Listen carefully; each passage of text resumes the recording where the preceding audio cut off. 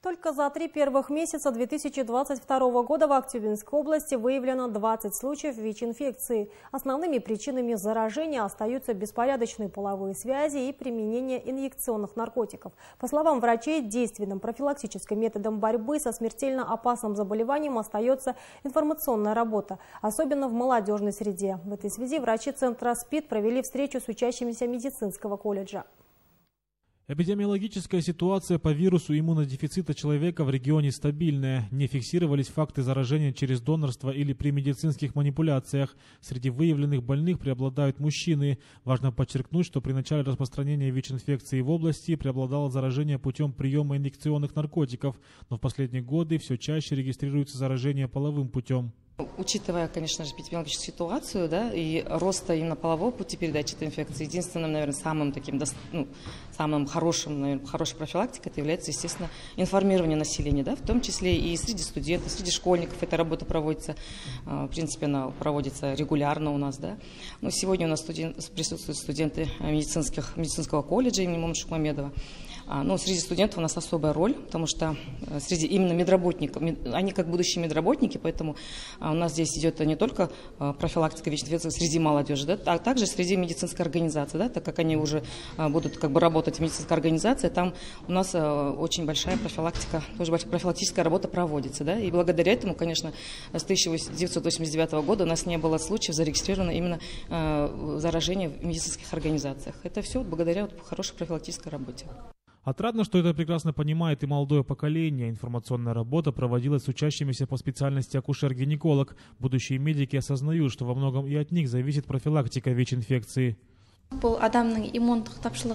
ВИЧ – это иммунодефицитное заболевание. Если затрагивать вопросы профилактики, важно оградить себя от незащищенных половых контактов. Эти вопросы мы обсуждаем как в стенах колледжа, так и вне учебного заведения. Делимся друг с другом информацией. Как будущий врач хочу посоветовать, особенно молодым людям, строго следовать гигиеническим требованиям, вести здоровый образ жизни. После окончания колледжа я хочу получить высшее медицинское образование по специальности акушер-гинеколог и в дальнейшем вносить свой вклад в улучшение здоровья людей, проводить разъяснительную работу с населением по профилактическим вопросам. Как всем известно, ВИЧ-инфекция относится к неизлечимым заболеваниям. Невозможно полностью избавить организм от вируса. Однако благодаря научным разработкам современная терапия позволяет перевести ВИЧ в разряд хронических болезней. Ежегодно растет количество обследуемых людей. Именно поэтому в текущем году за три месяца инфицированных было выявлено больше, чем по итогам первого квартала прошлого года. За три месяца у нас мы выявили 20 людей, живущих с ВИЧ. В принципе, э, ну, идет ежегодный рост именно полового пути передачи этой инфекции. С 89 -го года у нас выявлено 546 людей, живущих с ВИЧ. Увеличение из-за того, что у нас идет э, ну, больше обследований, да? потому что сейчас мы обследуем также а, половых партнеров беременных женщин, это для профилактики внутри вертикального пути передачи.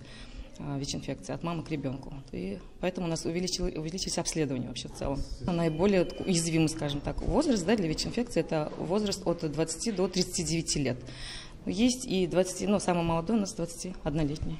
Несмотря на ежемесячное выявление новых случаев ВИЧ-инфекции, Актюбинская область относится к регионам с низкой распространенностью вируса. Случаи заболевания за всю историю наблюдений выявлены во всех районах, кроме Уилского и Байганинского. Важно отметить, что по состоянию на 31 марта текущего года в области на диспансерном учете состоят 366 людей, живущих с ВИЧ.